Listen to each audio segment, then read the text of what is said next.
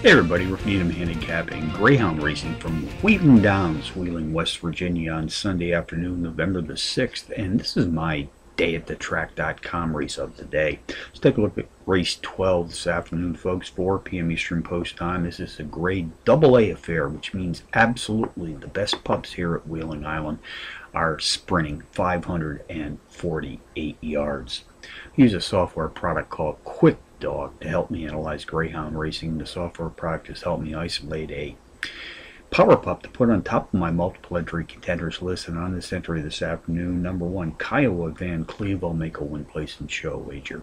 Also like to play the boxed exotics here at Wheeling, so along with number one today, I'll be boxing number six, Bob's Dooley, number five, CTW Nocturnal, and number three, Flying Cynthia. That's 1653 for your exotic possibilities here in race 12.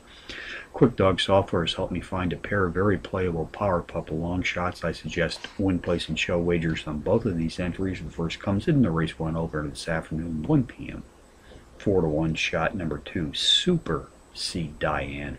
And in race three, win place and show and another four to one shot number six, Everly Brother. So from Wheeling Island on a Sunday afternoon, Rick Needham for day at the track.com reminding you as always to please bet with your head, not over it.